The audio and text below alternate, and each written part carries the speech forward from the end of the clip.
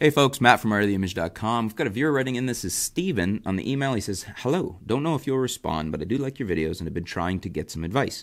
I've been into photography for a little over a year. I still consider myself a beginner. I have an old beat up Nikon D3200 with a kit lens and a cheap telephoto lens that might have cost me $200. I got the camera for free and I enjoy photography a lot, but through my adventures, I have found limitations in both my glass and camera. Mostly I go to zoos, a lot of zoos, and really into landscapes. Tried Astro, but still working on that. Either it's the camera or me, but I haven't got a good picture in the times that I've gone out. Decided it's time to invest more money into this hobby, but questioning which direction to go. When doing research, I find a lot of info about primes, like uh, stuff like that, but I don't take portraits very well, so uh, a Nifty 50 might not be the best way to go. Trying to formulate a plan and put together a list in order of what I should buy. Below, I will put a link to my photos. Any advice would be greatly appreciated. If you're too busy to respond, I understand and we'll continue to watch your videos. Have a good day and happy holidays, Steve. Well, thank you for your question, Steve. Um, yeah, primes. I always do recommend people get a 50 prime, whether you're looking in the Canon side, 50 f1.8 STM, great value. Nikon side, 50 uh, f1.8G, great value.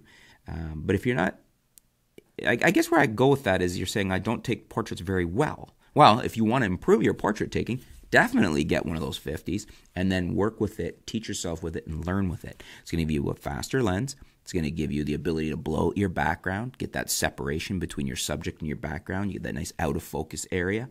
And they're very sharp lenses. So, uh, a great option if you do want to improve your portrait taking. If you're saying you're not into portraits at all and that's you don't want to concentrate on that, it's not what you want to shoot, and you want to, you said you really enjoy uh, go to zoos and into landscapes. Well, a 50 is probably not your best bet there. You might be better off with an ultra wide for landscapes, such as maybe something like the Sigma uh, 8 to 16 mil. Fairly expensive lens um, as far as comparing it to your to your kit lenses. It sounds like you have um, but a very impressive lens. And for landscapes, you may open up a world of opportunity to you. Eight mils is really wide. I think maybe a better all-round lens might be your best option. You like to go to zoos and and also being into landscapes. Maybe you'd be better off with something like the um, an 18 to 200 or an 18 to 300 they, it's a better all around walk around lens. You don't have to switch lenses. It's going to get you the ability, especially with the 300, to get right in there at the zoo, get up close with the animals without, you know, getting physically closer, uh, but also give you the option to take wide stuff when you want to if you're out and doing landscapes. Um, and I'm saying this because you are you're you know, you're saying you're still consider yourself a, a beginner and fairly new. Um, you know, if you're more advanced, then I might be suggesting more expensive lenses and splitting up some of the duty between a couple of more expensive lenses, such as an ultra wide and then a much faster telephoto.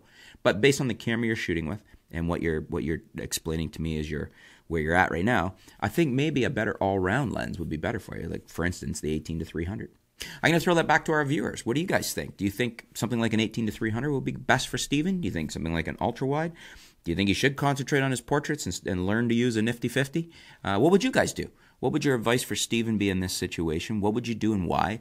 Um, looking forward to hearing what you guys have to say in the comments below. Let's help out Steven. Thanks again for your question. Stay tuned. We'll be back soon here at artoftheimage.com.